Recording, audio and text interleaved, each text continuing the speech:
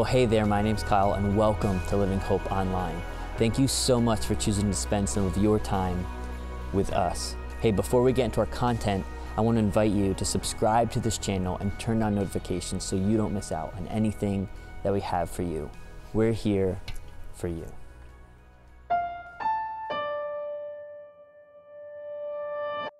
Hey guys, um, I'm so uh, glad to be joining you for a third time with uh, good friends of mine, John and Erika. I hope um, you guys um, have watched our two previous episodes.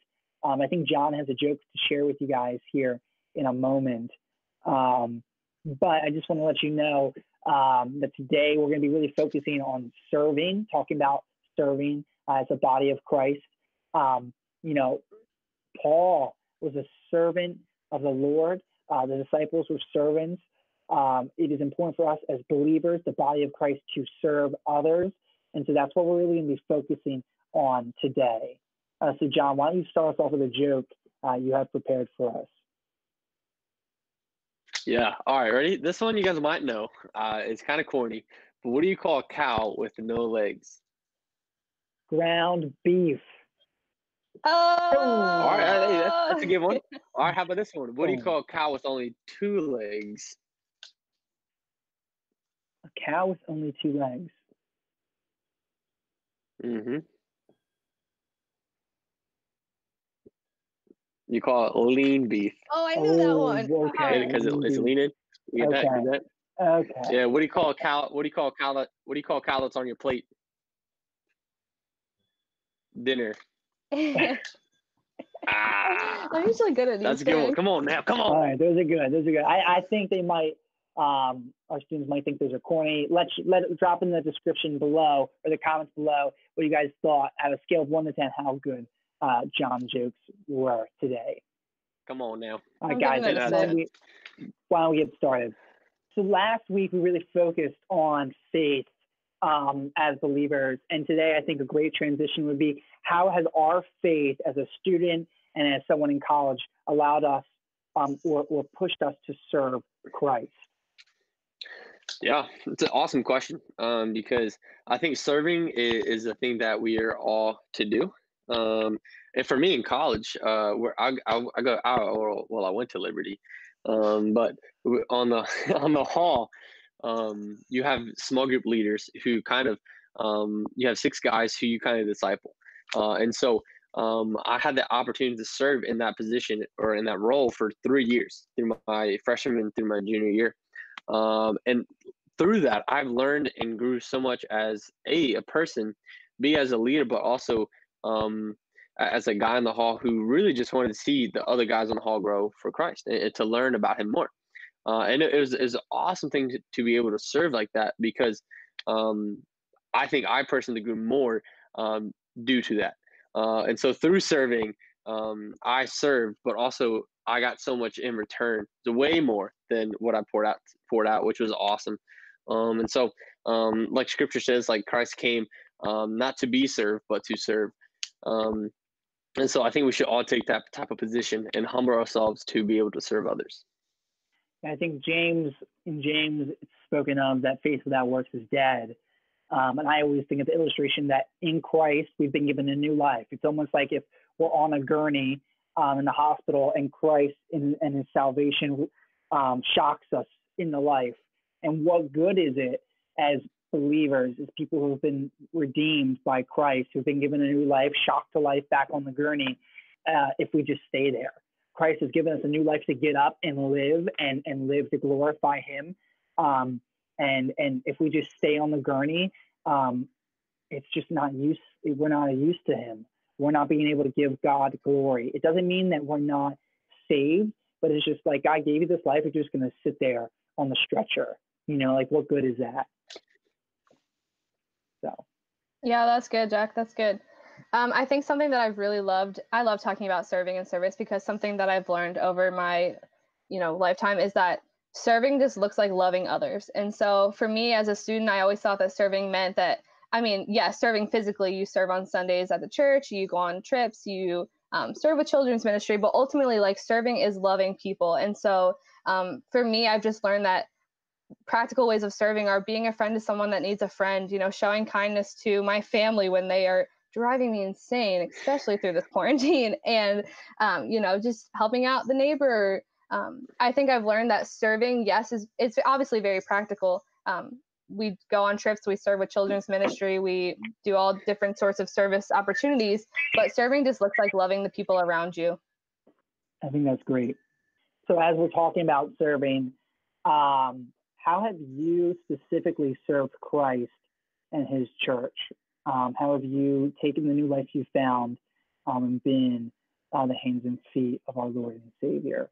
Um, while you guys think for a second, I can just, you know, think of multiple times where I've gone on mission trips um, in cities, um, in other countries, um, and also just loving my neighbors, those who I come in contact with, my friends and relatives, and, and really just trying to be the best that possible possibly I can um, an example of Christ. Um, I know I fail uh, consistently and daily, um, but the good news of the gospel is that we are forgiven. And so I think that's what really motivates me to serve. Yeah, uh, one way that um, I served in college was I found a, a, a home church while being at college because uh, I went to college about six hours away uh, from where I actually live, and it was important to me to find another church that I can be a part of um, for my four years of of college. Um, and so I was able to do that, and uh, it was cool because we met in the gym, and so we had a, setup crew which would meet at six thirty in the morning, uh, and we'd set up all the chairs, the screens, the projector, um, the stage, and everything. And and of course, like waking up at six thirty on a Sunday while you're in college, you know, it isn't necessarily what you want to do. Um, but it was really a cool opportunity for me to to be a part of that because uh, I met so many cool people uh, doing that, but also uh, thinking that every single seat that I placed down was a seat um, where someone was going to be able to hear the gospel, maybe for the first time. That's yeah, great. that's good. Like such a small um, thing, you know, setting up chairs um, is Yeah. huge um, in serving the Lord. Yeah, that's good. I kind of touched on this last question, but um, practically in college, one of the ways that I got to serve was as the prayer chaplain for the social work department. And so basically, I was the point person that planned all of the Bible studies for the social work department. I was the person that planned the prayer events. Um, I sent out the emails, you know, asking for if anyone needed prayers. I prayed in classes. And so um, this was something that was um, so encouraging to me, not only that I got to serve, but I was poured into in so many ways getting to be the prayer chaplain through professors and through um, you know people that were older and wiser that could pour into me um, and just show that example of what it looked like to be a christian in the social work profession and how you know those two things come together. And so i've just learned a lot about um, through that position i've learned a lot about like i said loving others and how serving while yes is very practical it's also very emotional. Um, you serve people emotionally you can serve your friends emotionally you can serve your family emotionally you can serve anyone around you. Uh, what do you think motivated you to do that, Erika? Yeah, um, obviously, my relationship with Christ was the first motivator that really encouraged me to do that. I mean, um, Jesus was the ultimate servant. He is that example of service that we should follow, but also having, like I said, the older and wiser people that were pouring into me and exemplifying to me what it looked like to be a Christian in the social work profession and how um, that is something that, like, that's a calling on my life that I have to pursue. Is that, yeah, I don't know if that answers your question, Jack, but No, I think it's good. I think it's, um, you know, Christ is just the common denominator of why we do Yeah. anything um, and why we serve. And out of his love for us, we love others. yes. So, John, um, why do you feel like serving is important, especially as a student, whether that was in high school or in college? Why is it so important to get out and serve? Yeah, I think it's important to get out and serve uh, because it teaches you um, that it's not all about yourself, um, and that that that we are honestly we are called to serve others uh, in such a way that doesn't you know put them above ourselves, but we are thinking highly of someone else. Um, in, in the sense of hey, like I will go to the soup kitchen and because I value you as a person, because Christ values you, and we're going to serve you, you know. Or if you, you know, we do this thing at, college uh, called Serve Lynchburg, and it's a Saturday event where um, about 10,000 college students, we all get together and we go out to the city that our school is in, and we go and serve in different aspects. Um, I remember I had to serve at a at a um, a boys and girls club, and, and what we were doing was we were shoveling rock from the back of the building to the front of the building for the path. Um, and it was raining and it was just cold weather. And you might be thinking, man, that shoveling rock from the back of a building to the front of a building isn't an act of serving. That's just a, a, a, a task that needs to be done. But if you think that way about that, then then you got to think about where's my heart at? Am I just doing this for uh, my self gain, or am I doing this to actually help out someone who needed this to be done? Um, and so uh, I was able to serve in that way, and and it was it was challenging because I truly was like kind of conflicted at the time, thinking, man, they just needed rock to be moved from A to B. But at the end of the day, I thought, wow, like this path that that we're making with these rocks, like people um, who don't have the best home situation are going to walk through this path into the building and get help that they need. Um, and so um, that was a very humbling experience um, as to why um, I served and to why that we should serve. Yeah, I think one of the hardest things is to develop a servant mindset, whereas yeah. we don't even think before we serve. Like we just mm-hmm. do it. Like we see someone in need, we see something that needs to be done, and we're the first one out of the chair. We're the first one to step up and help out a leader. I think yeah. um, that's the mindset Christ values and wants and desires from us. But we have to be willing to let Him do that and do it so much it becomes natural and becomes a part of us. Our goal yeah. is to become like Christ, and there's no greater way for us to become like Christ other than to serve alongside and for Christ. Yeah. Yeah, and that comes that comes to the the prompting of the Holy Spirit and, and discerning His voice. Um, that's I mean that's a whole other topic for a whole other day. But uh, being able to discern what the Lord is prompting you to do um, in the act of serving or, or, or helping out someone else, um, that's a um, that's that's one of the biggest things I've learned as well uh, is being able to understand what the Lord is calling me uh, and prompting me to do. Um, yeah, I think the Holy Spirit plays a, a significant role um, in, in getting us to take a step of faith, maybe go outside our comfort zone and serve in a way that we might not have um, without his doing. Uh, I think we can end on this, um, which is just a, such a great conversation about serving as a student and, and its importance. Um, Erika, you just got back this year from Uganda, right? Mm-hmm, yeah. How was that experience serving Christ in um, a third world country?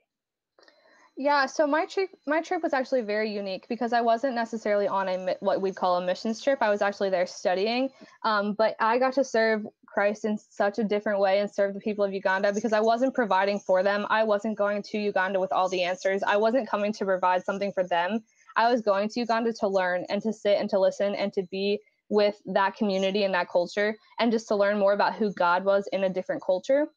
And so going to Uganda was so unique um, because I just got to experience service in a different way that wasn't, you know, me providing for another person, but it was that like taking the time to sit and listen and be with the Uganda community and learn, you know, what they believe about God and um, just get to experience Christ in such a different way. Um, and so I think that this just goes to show, you know, like serving is loving others. And so for me, this going to Uganda was sitting and listening to these people and loving on them um, through just being present with them. Um, so yeah, Uganda, I just am learning that service is not just always providing, um, but it can just be being present with people or, you know, just being a friend to someone that needs a friend or, yeah. Yeah, I think Colossians 4 really just shows us that the body of Christ is active and at work in so many different ways mm. um, than we can even think about. And I think every day of our lives plays an important role in developing who we are as Christians and as Christ followers. And um, I'm just encouraged and so thankful for you guys to be able to join me and share with our students um, just your heart um, and what God has done uh, in you. Um, and so thank you guys for um, finishing up this uh, this series with us. Um, we're finally done the book of Colossians. I know everyone um, can be happy after almost, I think, 10, 11 weeks in Colossians. Um, and so I just want to thank you guys for joining us.